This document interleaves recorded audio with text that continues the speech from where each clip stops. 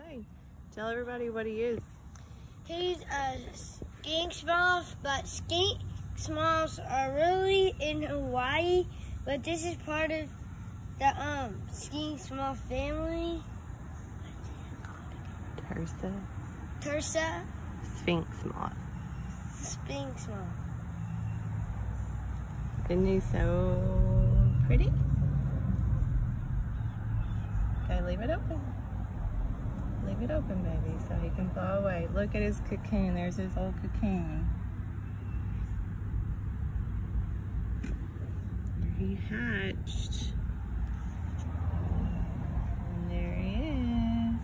He's so pretty. I love him. Hi, little guy. Okay, tell him bye. Bye bye.